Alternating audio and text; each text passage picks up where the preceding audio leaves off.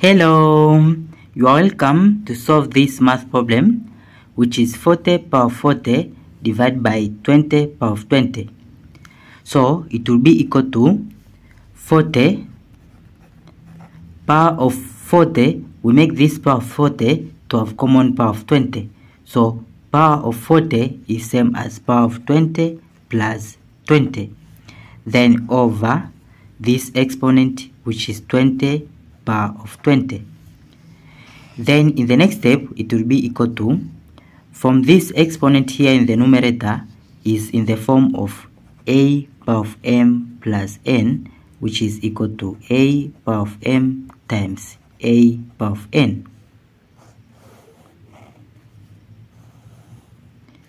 Then we'll apply this form here. So it will be 40 power of 20 then times 40 power of 20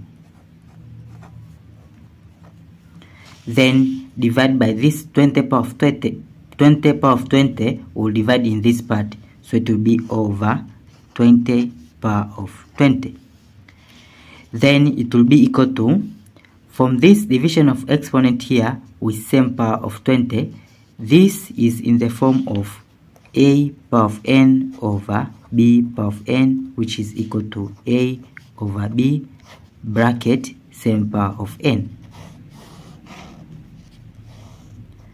So we'll apply this form. Then it will be 40 over 20. Then bracket same power of 20. Then times this exponent 40 power of 20.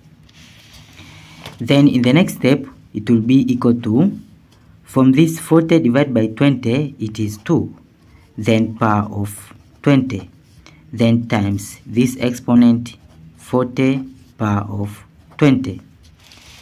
Then in the next step, it will be equal to, from this multiplication of exponent with same power of 20, this is in the form of a power of n times b power of n which is equal to a times b bracket power of n.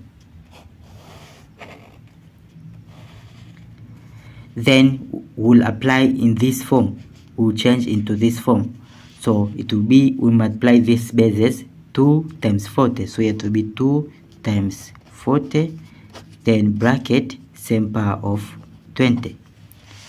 So it will be equal to 2 times 40 it is 80 power of this 20 therefore this is our final answer. 80 power of 20 thank you for watching. Don't forget these steps to miss out. Subscribe to my channel and see you in the next video. Bye bye